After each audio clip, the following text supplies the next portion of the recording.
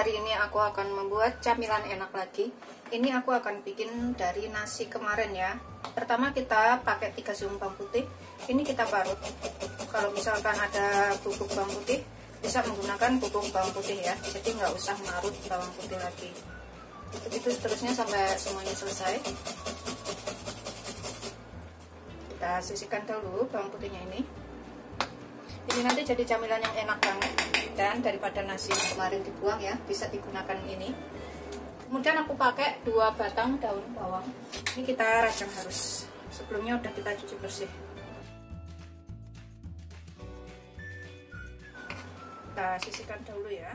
Kemudian aku pakai cabai rawit. Ini aku pakai satu biji aja. Kalau misalkan suka pedas bisa ditambah ya. Kalau nggak suka pedas satu aja udah cukup. Kita iris halus mungkin. Seperti ini opsional cabenya ini boleh pakai boleh enggak? Sisihkan dahulu. Kemudian di sini aku pakai satu centong nasi. Ini nasi kemarin bisa pakai satu centong nasi itu bisa pakai 250 gram atau 200 gram sekitar segitu ya. Kita remet-remet biar halus. Ini bisa menggunakan ulekan atau yang lainnya terserah ya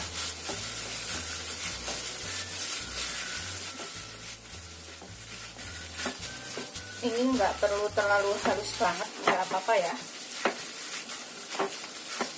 Asal jadi lembut aja. Seperti ini udah cukup. Kemudian tambahkan di sini bawang putihnya daun bawang cabai pokoknya cabenya ini opsional kalau misalkan nggak suka pedas boleh nggak pakai. Kemudian tambahkan 5 sendok makan tepung tapioka. Satu dua 3 4 5 takaran sendok makan saya seperti ini. Tambahkan sekitar setengah sendok teh garam atau secukupnya. Kira-kira ya. Setengah sendok teh kaldu bubuk atau secukupnya. Aku pakai ladanya sedikit aja seperempat sendok teh. Dan seperempat sendok teh bubuk ketumbar ini kita aduk sebentar ya biar tercampur enggak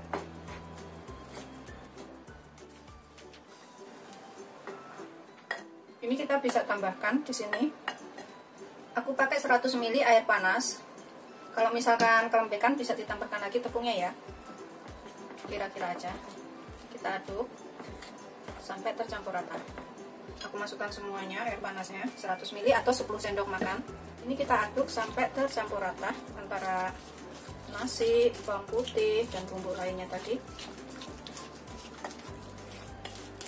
Pokoknya kira-kira aja. Kalau ini misalkan masih kelembekan bisa ditambahkan tepung tapiokanya.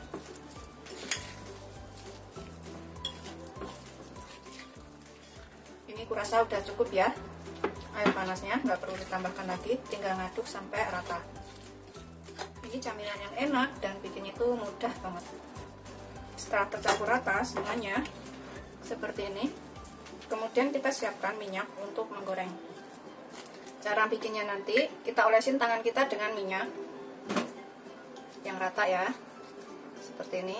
Kemudian kita ambil secemol seperti ini. Kemudian kita tipiskan setipis mungkin.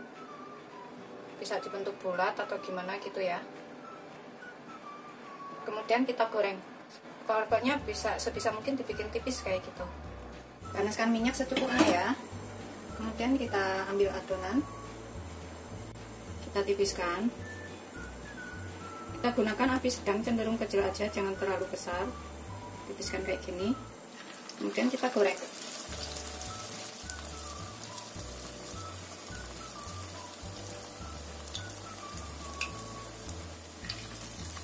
pokoknya tangan kita olesin minyak biar nggak lempet ya.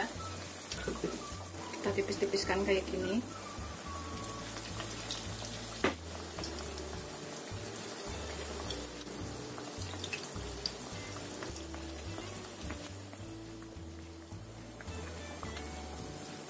Yang kita masukin pertama tadi kita bisa bolak balik goreng sampai kering ya. Gunakan api sedang cenderung kecil aja